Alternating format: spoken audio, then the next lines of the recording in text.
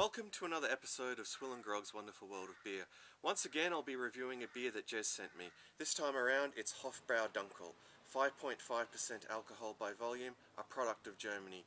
Once again, brewed according to the Bavarian purity law of 1516, Reinheitsgebot.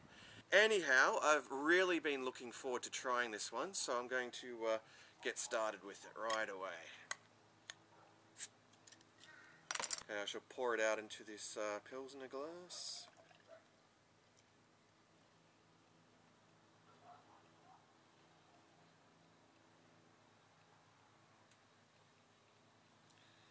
Okay. Well, the appearance is a very uh, dark brown with a reddish hue. Uh, there's just a little over uh, a finger of uh, off-white head there. Uh, probably when poured it was about uh, nearly two fingers, but it's dissipated somewhat.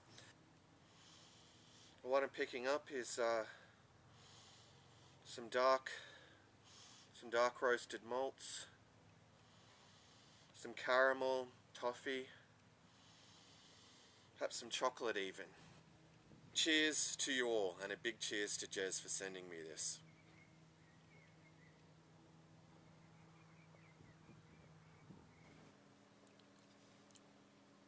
Well, the flavour really does follow the nose up front there's some very sweet caramelly malts there. Um, you know, they also are very bready, um, but uh, just absolutely delicious. I guess is the um, you know the the bottom line.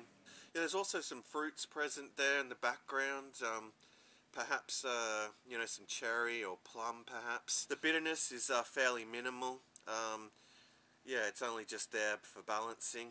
The real predominant flavour are those rich, caramelly, you know, dark roasted malts that are just absolutely divine. In terms of its drinkability, it's uh, very drinkable and also very sessionable.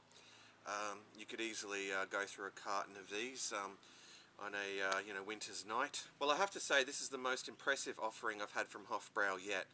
Uh, given that, I would um, be inclined to give it a score of 9 out of 10.